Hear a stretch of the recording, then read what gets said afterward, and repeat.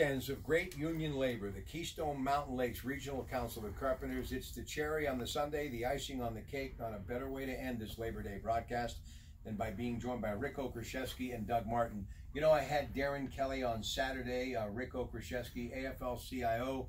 It is all about labor. They get it, they understand it, and he is well versed on promoting great union labor.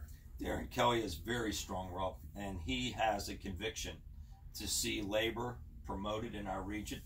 Um, the man comes from a background of a firefighter. He understands uh, what true grit uh, is and how and how you have to get established.